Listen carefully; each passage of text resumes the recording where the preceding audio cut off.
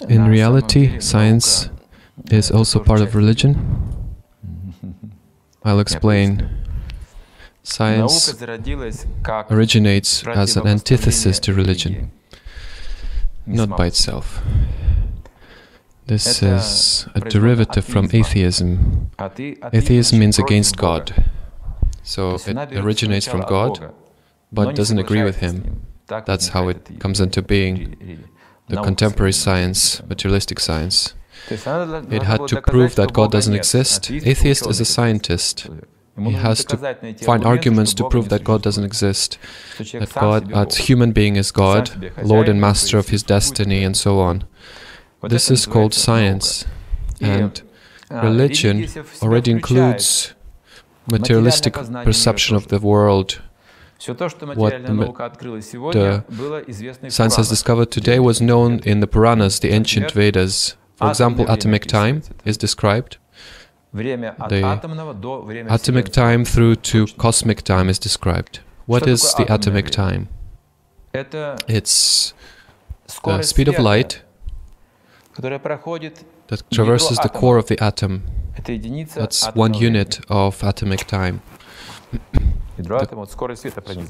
This is one measurement because on the atomic level there are immense speeds and they are measured by atomic time. How did people know about this? Nowadays, we wouldn't be able to detect it with any uh, equipment uh, to monitor it. The, the, nuclear devices, we won't be able to monitor it. We don't have sufficient speed, processing speed. The mind is static, most, almost static. The people of the past, with the help of yoga, would accelerate their mind, uh, the thinking process, and would a- were able to enter another time dimension and to see it, what happens on the atomic level, to uh, transcend with their mind. They didn't have any devices. Uh, it was just the human mind and the siddhis, the abilities. It seems impossible, but I heard it as a fact in the times of war, in extreme circumstances, when the human was a, a bullet was shot at someone, he could see. He was so focused so alert uh, that his mind would accelerate and he would be able to see the bullet leaving the gun and approach him. Time would stretch, the, the, the mind would accelerate. So yo the yogis are able to accelerate their mind or slow it down to see an, yet another dimension of time, different dimension. Because nowadays we measure time according to our the abilities of this body. We have 100 years. That's how I. Uh, the, the, an ant also has 100 years of its own. There's tremendous speeds, different functions. He is able to accomplish the, the mission of his life. Uh, so these are different dimensions of existence. This is a science. The science of observation through ourselves, not through devices, but through the body as a device. This is a spiritual science.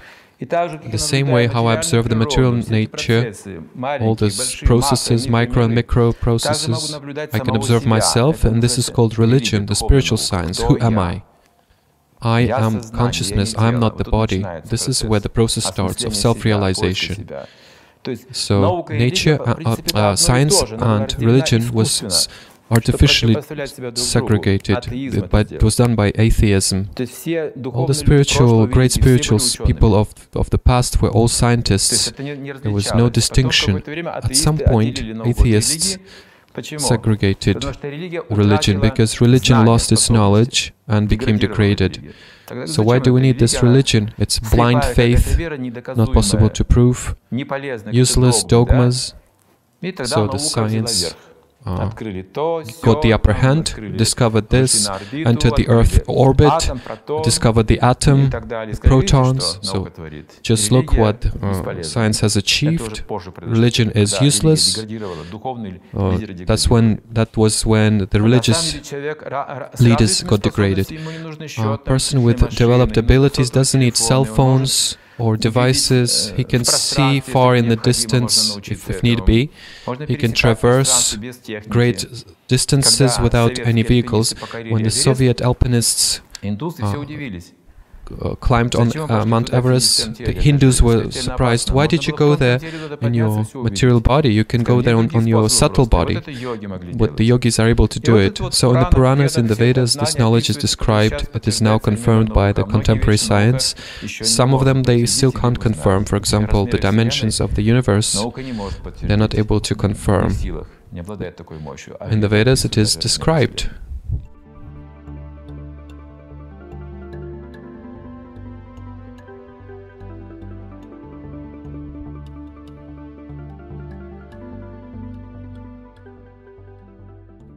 It's interesting that science can predict the end, but cannot understand what the beginning is, doesn't know how it all started.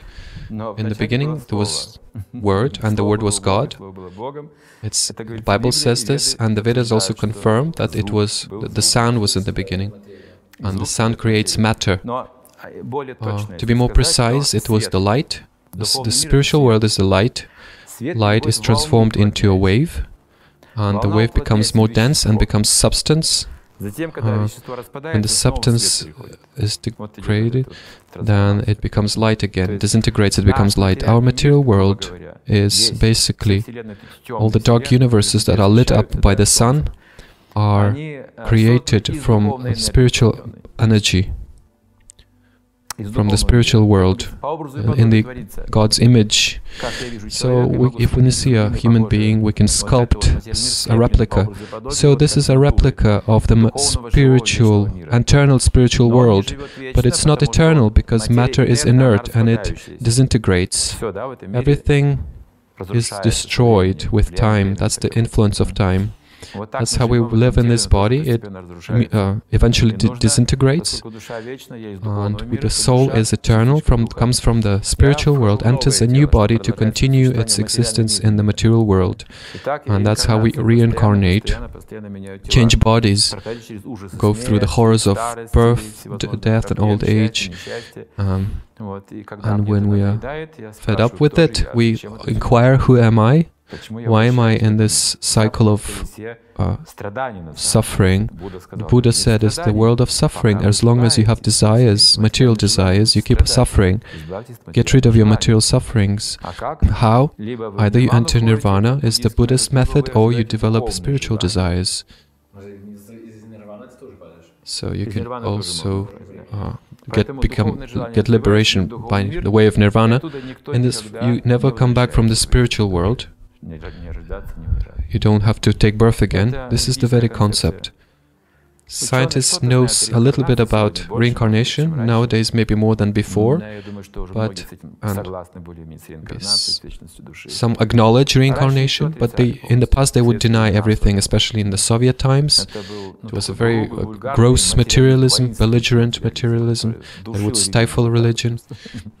It was a very difficult time. Now, times are changing. People get under spiritual understanding and then understand it's science. It's not some concoction. It's not some imag imaginary things. It's a the, this is the world of spiritual sciences that exist in the soul. I don't want to die, right? It's strange if it's the law, if it's the law of nature to die. Why I why do I not want to die? I don't want to feel pain. Pain is natural. I don't want to get sick. I don't want to die. Is it the body that doesn't want to die? No, it's the living entity in the inside the body, because it's not characteristic. It's not natural to get sick and to die. This is a conflict, internal conflict. Uh, fear for my body. I'm very scared that this body is changing, gets old and dies.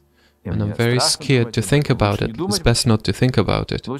Let's just distract our attention, and it is a big problem that uh, the soul has a different nature. Uh, it's a big, big evil for the soul to die. There is no birth or death for, for, for the soul it teaches us how to be fearless. You are the eternal living entity. Be, be calm and to learn how to be peaceful.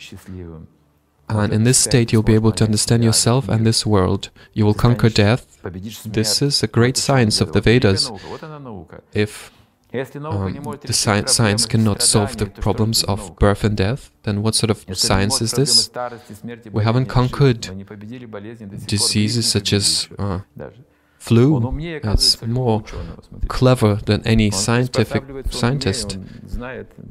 Scientists admit it's the punishment of God.